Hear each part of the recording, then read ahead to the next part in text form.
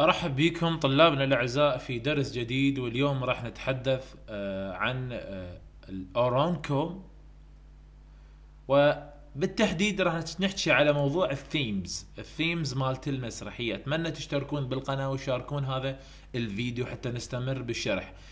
آه، قد ما نشوف إحنا مشاركاتكم ونشوف تفاعلكم ويانا يصير لنا الرغبة ونتشجع حتى نكمل المادة لحضراتكم. ولوجوهكم الخيرة. فعندنا من المواضيع التي ال themes الأساسية بهذه العمل الأدبي وهو ال slavery ال slavery يعني العبودية وال race يعني العرق. Slavery. In Africa في أفريقيا Oroonoko is a prince and general. بأفريقيا هذا ال Oroonoko شخص أمير وجنرال. A well respected young man with a bright future ahead of him. وعنده شخص محترم عنده مكانة مكانته كبيرة جدا في المجتمع بين المجتمع. جميع الأشخاص تحترمه ويحبونه ويحظى بشعبية جيدة و و وينتظر إلى مستقبله المشرق.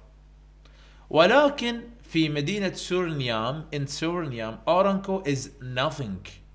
ولكن في ولكن في مدينة آه، سورنيام هو عبد.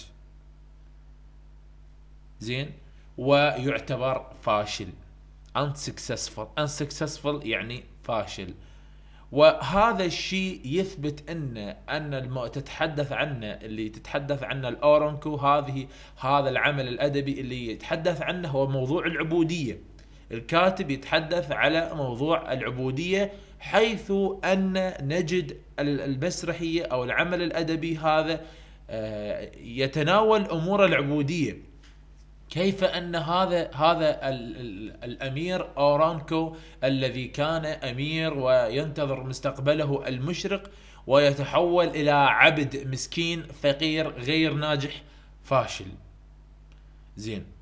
و يقوم الكاتب بتصوير بتصوير لنا موضوع العنصرية والعبودية على الناس حيث أن الناس آه، عند عند الحصول على فرصة أو عند عندما تكون أكو فرصة عندهم سيستغلون هذا الإنسان المسكين.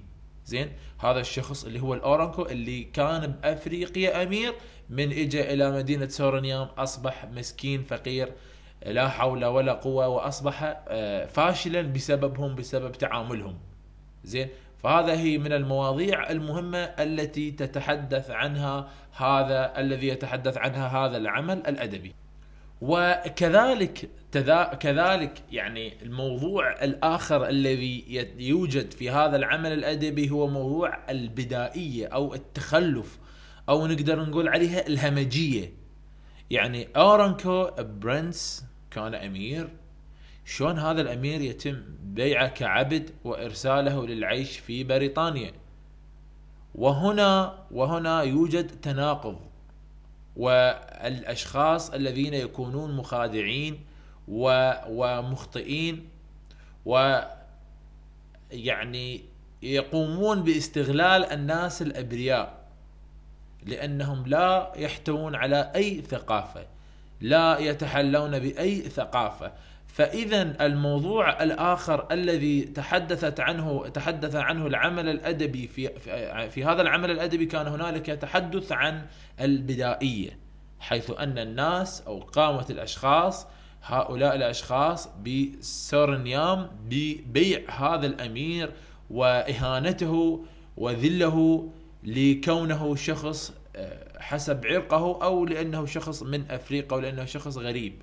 فهذا الشيء يثبت أن على أن آه، هنالك يعني فئة من البشر في ذلك الوقت متوحشين بدائيين همجيين. وكان هنالك موضوع موضوع مثل ما ذكرنا موضوع العبودية والعرق. فهذه المواضيع الرئيسية التي تحدثت عنه تحدثت عنها تحدثت عنها هذا العمل الأدبي.